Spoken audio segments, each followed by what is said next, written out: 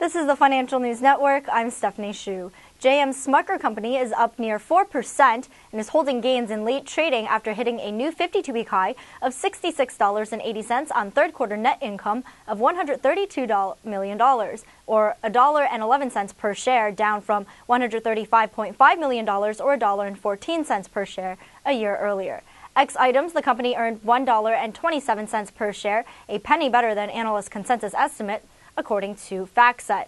Revenue of $1.31 billion topped the street's consensus call for 1.26 billion. Also providing lift, the company raised the low end of its full-year adjusted earnings guidance to between $4.60 and $4.65 a share, compared with prior guidance for EPS of $4.55 to $4.65.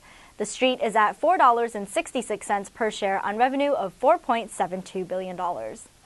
For further earnings updates, stay tuned. You're watching the Financial News Network. I'm Stephanie Shu.